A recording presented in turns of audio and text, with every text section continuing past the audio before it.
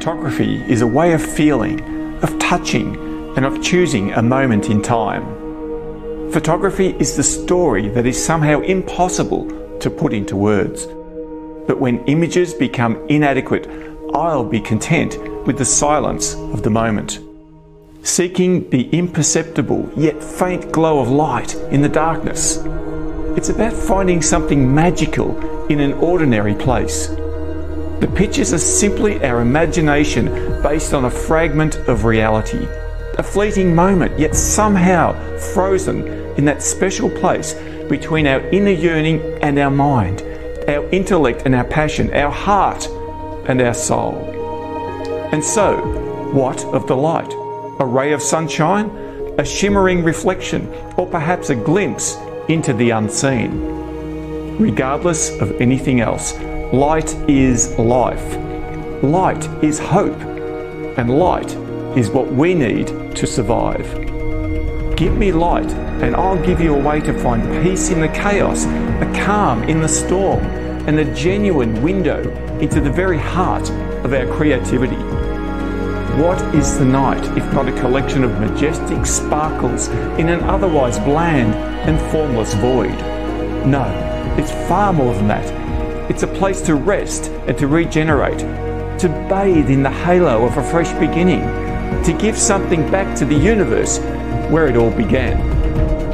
Reflection, luster, a glimmer of hope, a sparkle and a twinkle, an aurora, a halo, something special and so precious to our well being. Light is what makes our dreams become reality. Light gives us a way to look forward. Light is the glue that connects our imagination with our ability to see. Light gives instant strength in times of darkness, and nothing is more important for us to live and live that life in all its radiance and fullness. How we see and perceive light is what really matters.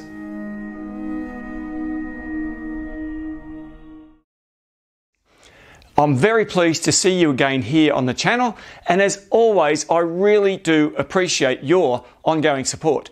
Today, we're going to discuss a topic that's probably my favourite subject lighting for nightscape images. But before we get into that, I want to remind you to download the workshop guide as well as the shooting guides that I've showed you before on the link down below. That link will take you to my website where you'll see all the info you need to get those files. As well as that, you'll see a link to PayPal so you can financially contribute to this workshop series if you feel led to do so. Remember, this content is going out free to air on YouTube and there is absolutely no obligation to pay for it. But every little bit helps this humble photographer. The other exciting thing I've included in this workshop series are downloadable RAW files, so you can have a go at editing my images, and these are also listed on the web page. You'll remember last week we talked about creative composition, and I thought it would be good to remind you of the key points we mentioned in that video. Firstly, it's very important to get to know how your camera works. Learn its features because if you don't, your lack of understanding of the technical aspects of photography will get in the way of your creativity. Practice pre visualization of the shot.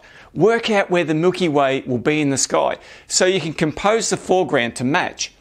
Have a good look at the surrounding landscape and especially look for obstacles in the background that may spoil the look of your image. Get the camera down low to emphasize your foreground subjects. Make use of leading lines, rule of thirds, and other important photographic principles. And last of all, make sure you have good focus before shooting. There's nothing worse than getting home only to find that all your images are out of focus. And I can tell you that from experience, that hurts a lot. So, with all that in mind, let's move on to what I consider to be the most exciting Sorry and to interrupt. oh, Thought you might like a cuppa. oh, of course I do. and oh, I went to that. the bakery and got you a little something. Oh, fantastic. What have we got here? My favourite. it's a rumble. Have a look at that. Now, by the way, this is my wife, Glennis, and Glennis is a big part of our Nightscape photography workshops here in Australia. So uh, say hello to everybody, Glennis. Hi, everybody. Now, she looks after people. She does all the cooking, as you can see. Well, this is from the bakery, but it doesn't matter. She does all the cooking and she looks after people and entertains us, and uh, it's fantastic. And we love having her on board. And uh, it's really good out there, isn't it? It's fantastic. Now, do now these folks aren't able to um, have any of your cooking or anything like that, but we're still doing a workshop online. So, Yes. Uh, look, I'm going to have to have a break now because I've got morning smoko, and uh, I'll get back to you guys in just a minute. Let's go.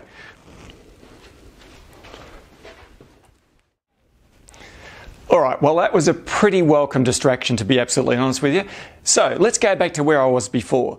So, with all that in mind that I've been talking about, let's move on to what I consider to be the most exciting and creative part of our night photography lighting for nightscape images. Now, this would have to be one of the most challenging parts of photography and one which I've spent the best part of a couple of decades working through. Now, the basic premise of photography is to capture light.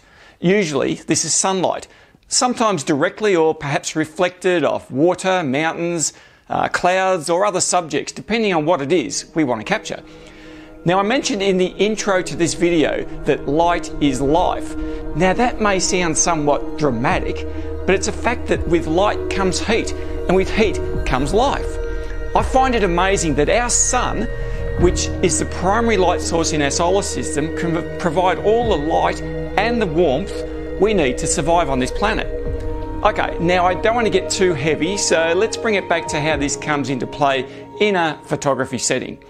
It's pretty obvious, really. The camera sees the light bouncing off our subject and captures that light, turning it into a digital signal, and in doing so, into an image on the rear screen of our cameras as well as our SD card. Needless to say, we need light to practice photography. So, taking that a step further, we also need light to capture our nightscape images, and this is where a lot of us get somewhat confused. Many people will say to you that a proper night image needs to only have the light from the stars or perhaps a touch of moonlight. That, that's the only genuine nightscape as far as they're concerned. Others will argue that photography is all about how we perceive the image to look like, and we can see all manner of lit features in the nightscape in our imagination. To some degree, this comes back to the science versus faith issue. Or to put it better, perhaps, it's what we can see versus what we can imagine. Hmm, that's pretty interesting, isn't it? What I'd like to do in this episode is cover a bit of both of these angles, if you like. I'll try to put a framework around the best use of lighting for our nightscapes and when and how to simply make use of the natural light in the environment. Now that sounds simple, doesn't it? But I can tell you right now, it's not as simple as it sounds. But I did promise you way back in episode one that I'd try to make complicated photography principles sound simple. Well, let's see how we go with this one. As we've already discovered, nightscape photography really pushes our camera equipment to the limit. It's really dark out there, and of course, that means we need to boost our exposure as much as possible in camera just to see anything on the screen. As we've seen, we need to push up the ISO to insane levels to get a decent exposure for the night sky. But where the noise really hits us in the face is in the foreground. If you zoom in on a lot of images, you'll see hideous amounts of noise hiding in the shadow areas of our shots. I want you to remember this as it's a key point. Noise hides in the shadows. If we want to combat noise, we must first work out how to overcome this inherent issue. Now, what's quite interesting again in this discussion is that I'll be addressing two separate issues we have when talking about shooting and lighting nightscape images. Firstly, the technical challenge and then the creative challenge. Here we go again. There's always seems to be this constant battle between the two sides of the photography coin technical versus creative. And where people struggle the most is in differentiating between the two. I've mentioned this many times and I'm sure I'll do so again, but if we can't master the technical aspects of photography, things like how the camera actually works and why we need to apply certain camera settings, then we'll never fully appreciate the complexities of creating a compelling and or inspiring image. And this applies even more so with nightscape photography because all the challenges are magnified many times over. Remember I mentioned the line and I drew that line in the sand in our previous video and how we are all wired either to be primarily technical or creative. It's built into our DNA and it takes lots of persistence and dedication to move ourselves a little closer to that center point where we start to get an understanding of things that seem quite foreign to us at first. So I hope you're getting an understanding of why I keep bringing this up. It's just so important to hear this the majority of photographers have never even considered these things. All they do is work out camera settings, go outside, and take images. Some will be great, while others, well, you get my point. Camera settings by themselves will never enable you to take an awesome image, especially at night when it's much harder than ever to get a shot. Okay, I'd like to discuss the various methods of lighting a nightscape image. Why do we need to light our images? Well, it's as simple as being able to place our night sky into an interesting location. If you look at these examples, you'll see the difference between simple unlit nightscapes compared to those where the foreground has some lighting applied and therefore definition. Okay, so method number one for shooting nightscapes is to make use of moonlight. The moon is a natural light source and it provides an easy option to get all the details in one shot as long as it's not too bright. If you look at these two images, you'll see how much light the moon can actually provide. The image on the left is taken at 2:30 a.m. with about a 30% crescent moon, while the image on the right is taken about an hour later when the moon had set. Exactly the same settings, but with the moon gone, a little bit of light painting gives the old shed some definition. But the biggest difference is in the detail in the night sky. These are both single shots, and you can hardly see the Milky Way in the moonlight shot. It's almost completely washed out. Now, isn't that interesting?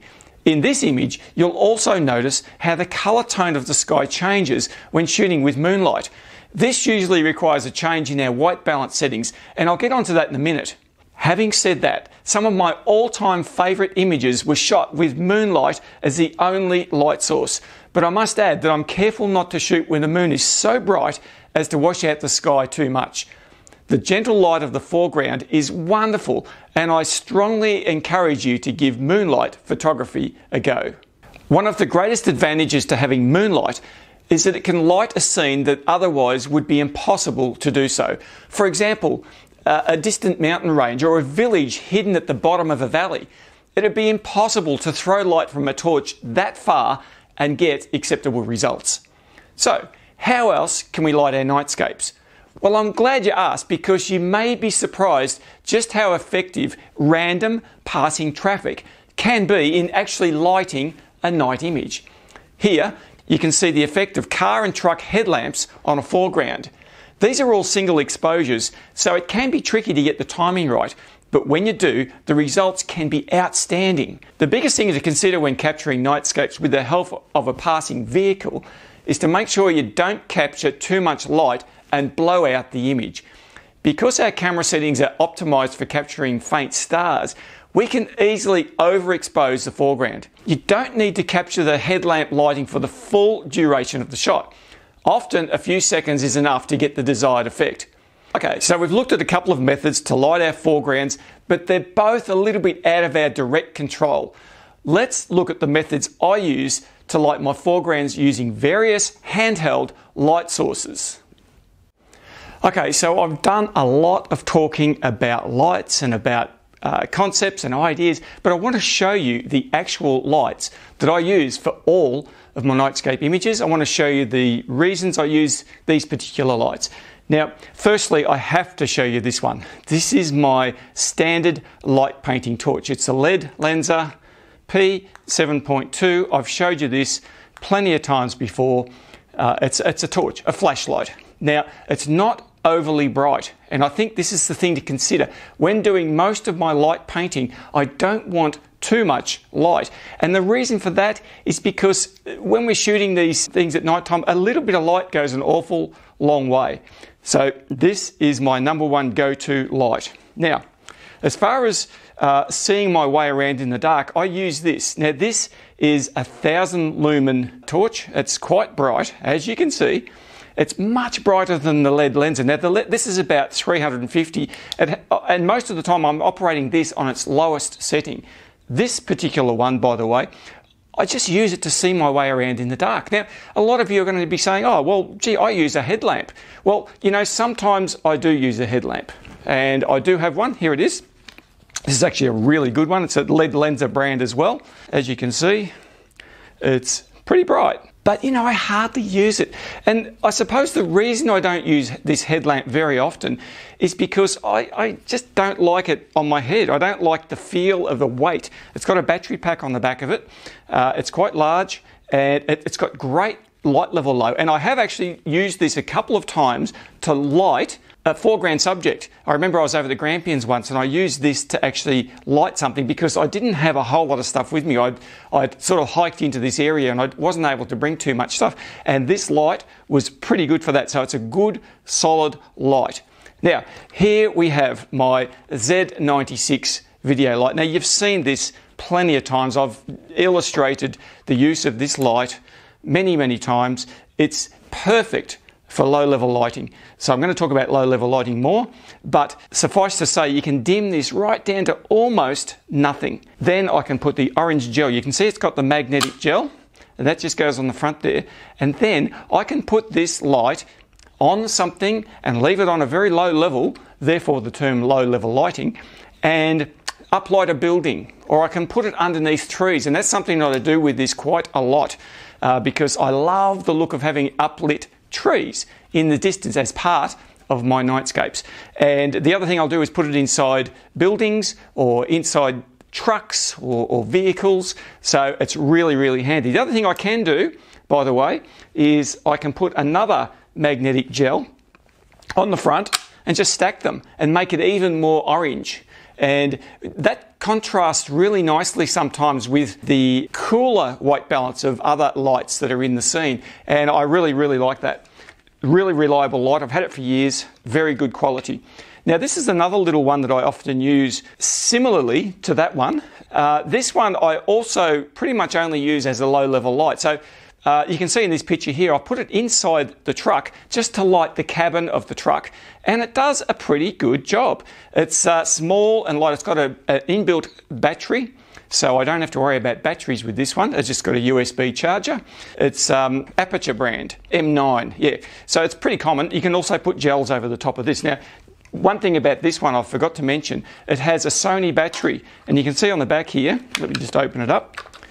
Sony NPF battery. I have a, a, lot of these batteries and they're really good. You can also put in this particular one, you can put AA batteries in there. Those batteries last for so long. They are really, really long lasting and I thoroughly recommend those batteries. Okay, now just whilst we're talking about floodlights, because ultimately there's uh, uh, two types of lighting that you're using for nightscapes. One is flood lighting, which are these bigger ones.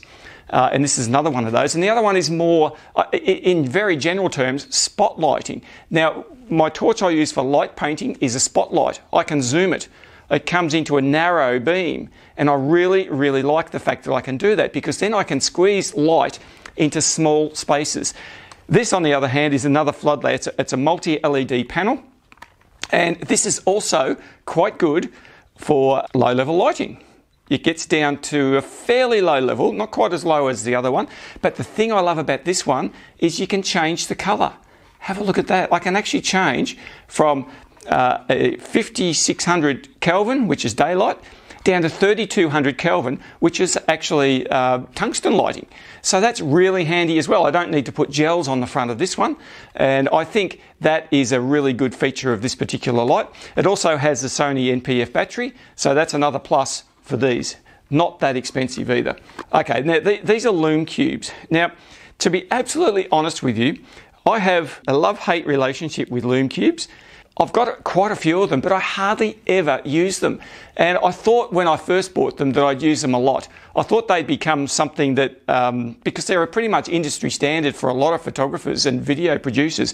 But the thing I don't like about them is the color cast. Now, having said that, this is the version one of the Lume Cubes. Um, they're very green.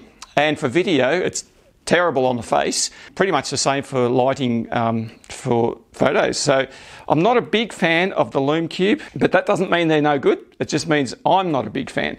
I've got Lume Cube Minis here, and these are the same. The color temperature is the main problem with these. But apart from that, they do a really good job. One thing I like about this particular one is you can, it's got a magnet on the back. You can stick it onto something that's magnetic, uh, and it's quite handy for that. So uh, I'm not discounting them totally, and a lot of you will be using them for sure. They're just not quite as good in my mind for what I do as these other ones I'm showing you. Now, before I finish, I want to show you this little tiny lantern. It's, it's a ripper. It's just this tiniest little light, hardly any light at all. But I use this when I open my aperture right up to get those really creamy bokeh looking shots. Now you'll see this image of the lantern on the fence post. I shot that with just this little light as the light source. It's hardly anything. Now, I bought this at a camping store, didn't cost me much, a few dollars, uh, and I just have it in my camera bag for those times when I think I might need something a little bit different. And, and certainly uh, when I need something that's not quite as bright as the other light sources that I've got here. A lot of you ask me about the gel that I have on the front of my torch. You can see the torch has a gel there. And that is a half CTO gel. Now I've bought a roll of this stuff as you can see, that's what it looks like. And it's not cellophane, it's also heat resistant, so it is proper theatre lighting paper, but it's also proper photographic gel, and it's what's known as half CTO gel. Now, the gel on the front of these uh, Z96s is a full CTO, so that's that's a denser orange than this one. Uh, it looks dense here because it's on a roll, but it is what I use to colour balance the temperature of my camera to my lights. Now, that leads me to white balance. I want to talk to you a little bit about white balance. So, when I'm shooting my nightscapes, I set my white balance in camera somewhere between 3800 Kelvin and usually up to about 4500 Kelvin. Now, white balance is one of those settings in the cameras that confuses a lot of people. I don't want you to be confused. White balance is simply the camera's ability to work out what colour white is. So once it works out, and you can tell it what colour you want it to be, therefore the variable uh, um, Kelvin numbers. Kelvin, by the way, must have been a guy who lived many years ago. He invented what's known as a Kelvin scale. Now, Kelvin. Uh, the scale works to colour and it works to temperature. And one way I like to illustrate this is if you have a fire and you've got these beautiful hot coals happening in the fire and you let it sort of die down a little bit, what colour are those hot coals? They're yellow and orange. Now, it's interesting because we typically look at orange light as being warm, but in actually a temperature sense, orange is actually cool. Now, on the other hand, if you look at a gas jet on a gas stove and you fire it up, what colour is it? It's blue. And we look at that gas fire and we think to ourselves, well, that's a much hotter flame than the coals in the fire, and yet it's blue. And in our thinking, we think blue light is cool light. Okay, so you've probably been to the hardware store and they'll talk about warm lights, warm white, and cool white, they're talking about color variation. So, the reason cameras have white balance settings in them is so that we can match certain colors and so that we can match fluorescent lighting, we can match uh, candle light or incandescent light, we can match normal daylight we can match uh, cloudy skies, which is a little bit different color again. There's all of these settings built in. Now, all of those settings relate to a Kelvin number. You can go right down to about 3200 Kelvin, which is what this is listed at. This with the orange gel is 3200 Kelvin. Without the orange gel, this light is about 5600 Kelvin. You see what I'm saying? So the higher the number, the whiter the light is. The lower the number, the more orange the light is. So if I want to set my white balance in camera to, let me say, let's say 3500 Kelvin, what happens is that the camera compensates for that manual setting and makes the image more blue. Some people like their night sky images to have a, a, tinge of blue in the sky and be a little bit more mysteriously cool in that way. But the problem is, if you want to light a foreground in front of that, the last thing you want is a terrible blue tone in all of our foreground. What we want our foreground to look like is a proper white balance, like a daylight white balance. So, what we do we gel our torch or our light source. And that's why you'll see all these gels that are on lights like this. Now, the thing is, once we set our white balance, and I suggest strongly to set white balance manually in the camera because if you leave your camera on auto white balance, what will sometimes happen, especially when you're taking a sequence of images, you will get variation from one image to the next. And in a lot of cases, that doesn't matter. But when it does matter is when you have things like time lapse or, or, a star trail sequence or something like that. You don't want to have to adjust each one individually to get them back to the same color. My strong suggestion is to manually set your white balance. If we set our white balance higher, let's just say we set our white balance at uh, 5000 Kelvin that image is going to look a lot more yellow. And uh, I know this is confusing because what I said before about the warmer image is actually the gaslight, which is blue it's actually compensating the opposite way around, and that's how it works. So just, just remember these things. If I set my Kelvin temperature higher, in other words, 5,000 or 6,000 or 7,000, I'm actually warming up, putting more orange into the tone. If I set it lower, let's say 4,000, 3,500, 3,000 Kelvin, I'm making a bluer image. So if you want your sky to look just a little bit of tinge of blue, you set your white balance down lower. Now I typically set my white balance, as I said, about 3,800 to 4,500 Kelvin, unless there's a moonlight. If there's moonlight in the sky, I would typically raise my white balance to about 5,000 Kelvin. Why do I do that? Because moonlight is actually a reflection of sunlight. So, in fact, what you will find with moonlight, you will find that it actually makes the sky turn blue, same as the sun does in the daytime. So I don't want the sky to look overly blue because of the moonlight. So what I'm going to do is change my white balance to compensate for that. And now I know this is complicated. It takes a lot of uh, time to get this to sink in, and there's a lot of articles out there on YouTube and elsewhere talking about white balance. But I hope that's helped you a little bit, and I can see hopefully the reasoning behind my selection of lights here, depending on what I'm trying to light and why I'm trying to do it, makes a little bit of sense to you guys. I mentioned before that many people like their nightscape images to look very natural. They don't particularly like the dramatic light painted look, and so they may well employ a technique known as low level lighting. Now, as the name implies, if you set a light source on a very low level, perhaps on a light stand, and, and shine it on your subject for the full duration of your exposure, you are actually employing low level lighting. Or another term is architectural lighting. This concept has been around for years, and many people favour this method as it's often less intrusive to others in the immediate area. In fact, in some locations around the world, lighting at night is being banned to help protect national park visitors and environments. Low level lighting can often be employed without any perceptible interference to others in the region, and yet the camera still sees the low level of light enough to light the landscape. That's amazing, isn't it? You can often use more than one light together in this manner, and the results are very effective. I'll often use these Z96 video lights as low level lights because they dim right down to almost nothing and they have the orange magnetic gel attachments and, and that adds warmth to the shot.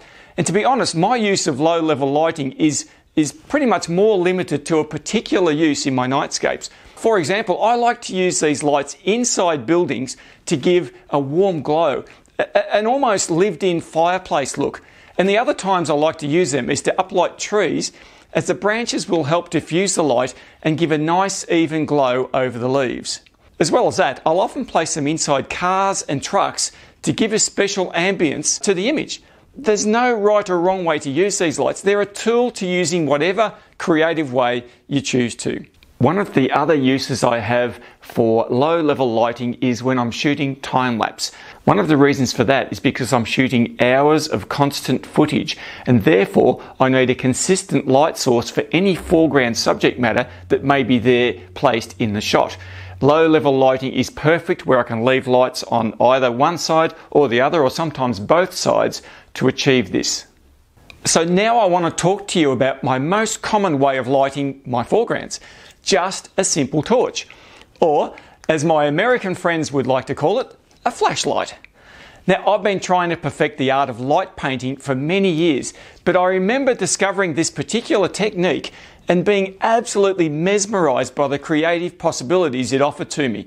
Now, the interesting thing about my lighting method in general is that I'm always trying to apply principles I've learnt in portrait or even fashion and wedding photography along the way. But even more than that, I've spent a fair amount of time working in theatre and stage production, particularly the technical areas, including lighting. The concept of lighting from angles and creating shape and definition is the cornerstone of stage and movie production. So I thought to myself, why not translate those well known and practiced principles into my night landscape photography? You, you see, when shooting nightscapes, we have great liberty to be able to apply light wherever we want into our images. We aren't so constrained by where the sun is in the sky as our daytime landscape friends are. We can place the light source anywhere we want to to get the desired results. So that's how I think whenever I go out to shoot my nightscapes. I quickly worked out that to get the very best results, I had to work out how to address the noise issue I mentioned earlier. Now, remember I said that noise hides in the shadows. Yes, that's very true. But of course, noise is also present because of the very high ISOs required to shoot these nightscapes. And that's when I started experimenting with lighting multiple images from different angles or zones to create shape and character in my images. I want to preserve the shadows, but I'm also really keen to also maintain the highlights and at the same time not blow out the highlights. So the technique I use is what I affectionately call my fine art light painting method.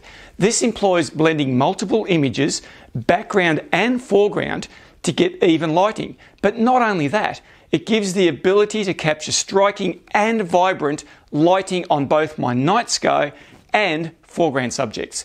Most of the images you've seen of my work have been shot using this method, some quite simple and others much more complex. You see, the complexity of the image is usually dictated to by the size of the scene and sometimes by the subject matter itself. Some things can be easily lit uh, with only one or two shots, while others need a whole lot more frames to get the desired result.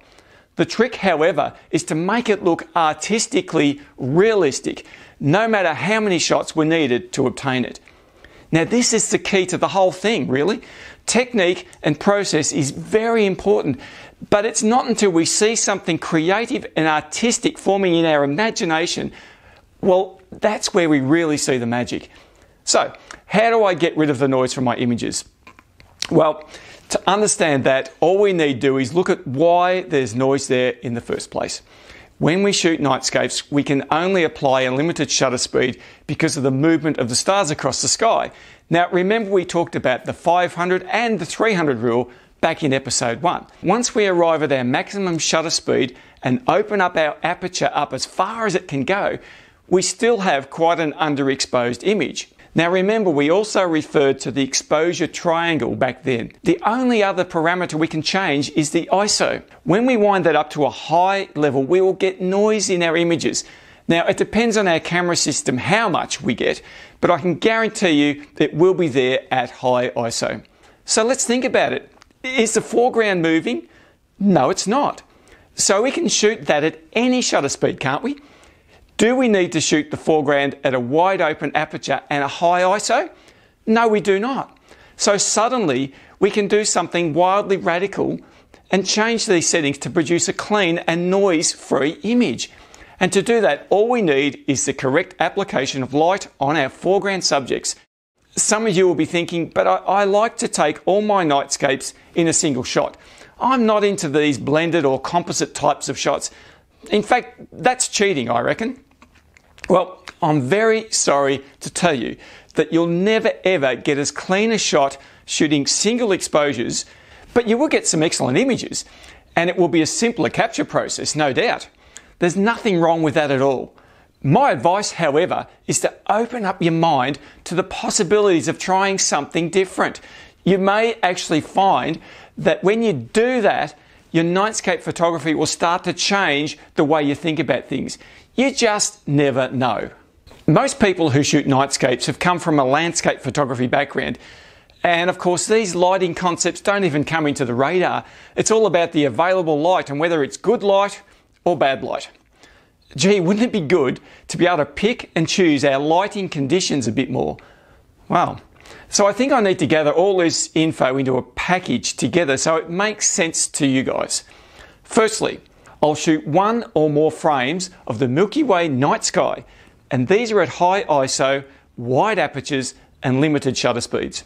Then, without moving my camera or tripod position, I'll stop down my aperture to somewhere between f4 and f8. Why do I do this? Well, two reasons. Firstly, at f5, for example, I'll have a much sharper image than one shot at, say, f1.8 or f2.8. That's because the outer part of my lens, which is where most of the aberrations live, isn't being used. Now, I've stopped down the lens, and that's how lenses work. Secondly, at f5, I've suddenly broadened my depth of field. This means that more of my foreground is in focus and will be sharper than when I had it set to f2.8. Remember we looked at the depth of field table in episode 1 and went through this focus info. Now remember way back in episode 1 I showed you these round discs uh, and the reason I have these is to explain aperture. So let's see, look at this one. We've got an f1.4. This one is f2.8. We've got f5 and we've got f8 and a little tiny f16. Now, people ask me this all the time. Why, do, if I have, a, for example, an f1.8 lens, do I stop it down to f2.8 when I take my shots? Well, here is my explanation for that. Let's just say this is a f1.4. Well, it is f1.4 or f1.8, doesn't matter. And if I stop that lens down to f2.8, let's just show you the difference. That is f2.8. Now, if I stop it down to f2.8, what am I actually doing? What I'm doing is actually removing the outside part of the glass. That's pretty obvious from this uh, diagram. So effectively, what I'm doing, therefore, is meaning that the lens is operating through this center part. Now, if I stop it down, let's just say to f5, let's have a look at that. If I stop this lens down to f5, look at that. What am I doing there? I'm taking away all of the outside part of this glass. Now, you would have heard this mentioned many times. People talk about the sweet spot of lenses. Now, you might have an f uh, 1.4 lens, but I can guarantee you its sweet spot is not wide open at f1.4. The sweet spot is going to be probably, you know, about f8 or f10 or f11 or something like that. No, so what we're doing by stopping down the aperture, let's just show you that one more time is we're getting closer to the sweet spot of our lens. If we get close to the sweet spot of the lens, the lens operates far better than if we're trying to push it wide open. Now, I fully understand that a lot of these lenses are portrait lenses and they're designed to be shot wide open, but I'll tell you one thing when you're shooting portraits, is that the outer edges of your frame are usually blurred out anyway because you're getting that bokeh look and all sorts of things. When we're shooting our nightscape or landscapes for that matter, we don't want bokeh. We don't want uh, uh, aberrations around the edges of our lenses. So, landscape photographers, daytime landscape photographers, they, they approach that by stopping down their lens. So, they might have an f1.4 lens, but they're shooting it at f8. Now, look at the difference. f8 is, is massively stopping down that lens. So, us as nightscape photographer, we can't afford to go to f8 for the night sky because we need to get as much light gathering power as possible. So, this is the conundrum that we're faced with. So, what I'm saying to you guys now, if we've shot our night sky at maybe f1.4 or 1.8 or f2 or f2.8, that's fine. But when we're going to shoot our foregrounds, we don't need the wide aperture lens. We can stop it down. And one of the apertures I like to stop down to is f5. Now you've seen a lot of my videos and my images. I'll stop down to f5. What am I doing? It's as simple as this. I am actually getting into the sweet spot of the lens, the images become sharper, they're more uh, in focus because I've actually increased the focus scale. Remember, we talked about that earlier. So, the more you stop down your lens, the wider your plane of focus becomes, and you'll get more foreground in focus. Now, I fully understand it takes a fair bit to get your head around all this stuff. Now, I want you to remember that if the foreground subject is very close to the camera, you may have to refocus to make sure it's in focus. But stopping down the lens is often enough to get a beautiful, sharp, and in focus image. So, the next step is to lower the ISO of the camera. Now, remember, I've been shooting it somewhere between ISO 3200 and maybe even 6400 to get those sky shots. But I'm going to lower it right down to about ISO 500 or so. Now, why do I do that? It's to lower the noise level in my shots. And not only that, I've also had the side effect of increasing my camera's dynamic range. Now, what is dynamic range? It's my camera's ability to capture the white whites and the black blacks. When you shoot images at high ISOs, you lose dynamic range, and the blacks often turn into a muddy grey colour, and we don't want that. Okay, so now we have our camera ready to shoot, and the only missing ingredient is light. All we need to do is apply enough light to correctly expose the shot. If we get it wrong, we can do it again. You see, we're not time limited here because our foreground isn't going anywhere. The sky will move on, but we've already captured that. We can spend all the time in the world to make sure we get the light right. My method is to light from different angles to make sure we have enough images to complete the total picture. When mixed with our Milky Way shot, the results are often simply breathtaking. All right, so that's a lot of detail to be taking in, especially for you creative types. Well, you just want to get out there and take an image. So let me illustrate how I would go about doing exactly that. Okay, now I want to talk to you about lighting and direction of lighting and shadows and shape and all those sorts of things. To do that, I've employed my very gracious assistant here. Sit up straight so that we can get a bit of an idea of how this works. So, firstly, what I'm going to do is just shine a light directly on the front of this bear. The first thing we, we do is see that the light on the front of the bear is flat and harsh. Now, all we need to do is turn the angle of this light. You watch how the light changes. Suddenly, the light's beginning to wrap around the bear, and now the light's coming across the top. Now let me just shine it on there. You can see how by just moving the light around to the side makes all the difference because it's the highlights are on this side and the shadows come around to this side. Okay? We do the same thing around this way. You can see the highlights here on this side. Fall, the light falls off as it goes across the shape of the subject. All right. Now the other thing I want to bring your attention to here is I want you to have a look at the shadow behind. Now, when I'm lighting this with a small light source, which this torch is, the shadow is quite hard. You can see the definition there. It's very, very hard and solid. If I change the size of the light source, LED panel, it's a little bit bigger. You can see the physical size difference between this one and that one.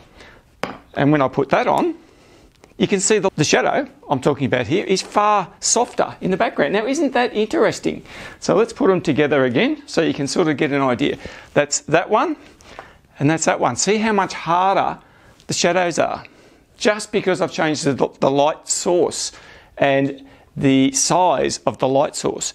Let's just say I bounce a light off this disc. So I'm making the light source not that size anymore, it's going to be this size. You just watch what happens this time. We'll do that. Now have a look at that. The shadow is almost just blending in to the background. Isn't that amazing? So that's exactly the principle that people use when they use umbrellas and softboxes. They actually create softer light by making the light source bigger. Now, in our nightscape photography, it's very, very difficult for us to actually do that out in the field we can't be carrying great big soft boxes and umbrellas around. So, one of the things I want to draw your attention to, we can't so much make the light softer on the subject, but what we can do is change the shadow and the shape of the light going around. So, have a look at the shadow. Look what happens when I actually move the light source. Okay, I'm talking about lighting technique here. By moving the light source, the shadow is moving. If I have a long exposure photograph going, what's happening? That shadow is blurring. So it's softening the edges. It's not a harsh shadow anymore. It's a soft shadow. So when I'm lighting my foreground subjects, what I'm doing is moving the torch. I'm not just putting it onto the subject and leaving it there like that. Now, this is one of the disadvantages of using flash for lighting foregrounds because it gives a quite a, a hard shape. It's indiscriminate. It's not soft at all unless you put modifiers on the flashes. So, one of the techniques that I always use when I'm lighting my foregrounds is to move the light source. Once again, let me put it into a nutshell for you. I'm not lighting from the front, same direction as the camera, I'm lighting off on angles like this. And by doing it, sometimes over the top like this, and by doing that, I'm also bringing that light source across the top of the bear, as you can see, giving it a bit of shape and character. Okay, uh, by moving the light from side to side, I'm changing the shadow, and that falls off behind the subject. Now, sometimes you're shooting a, a, landscape, you might be an object in the front, but you see all the shadows, and the shadows look terrible. So, by using this method, getting back over this side and doing the same thing, shadow is suddenly soft on the other side. So, we don't have these hard edged shadows. And it's a typical of a lot of light painting you will see is the subject's lit, but there's also these awful shadows going off in all sorts of different directions.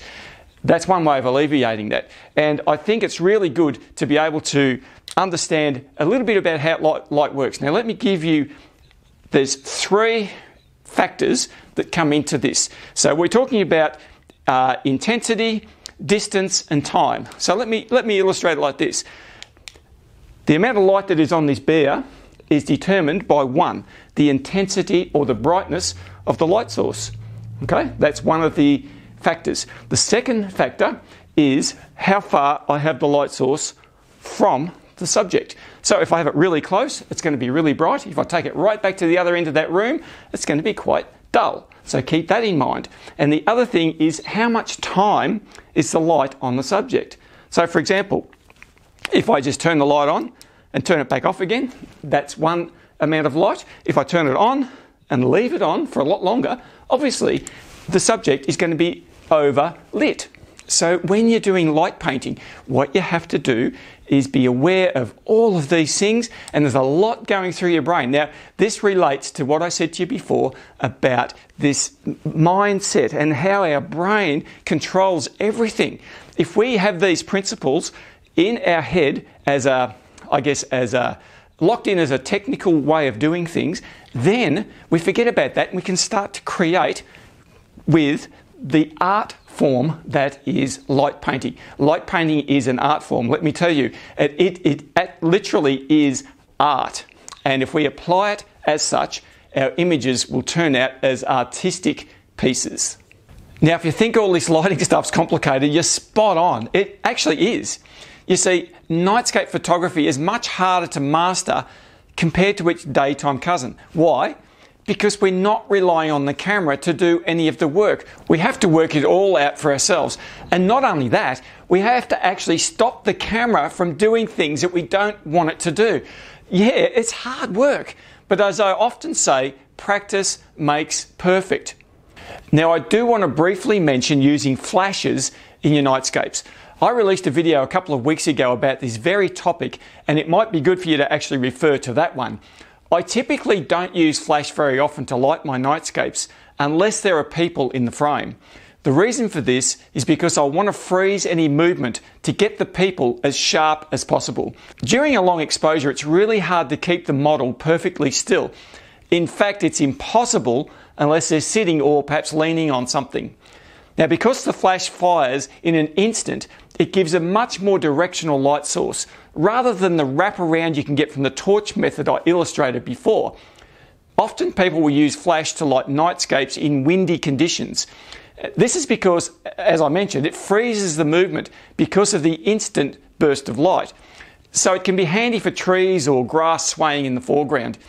So we've gone through a lot of detail here, and I think it would be good to wrap it up with a summary of this light painting topic.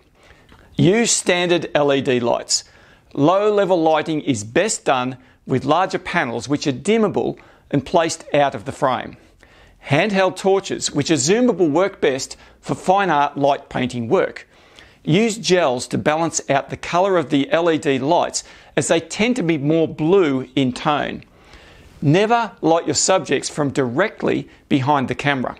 Use angles to create shadow and texture in the foreground subjects.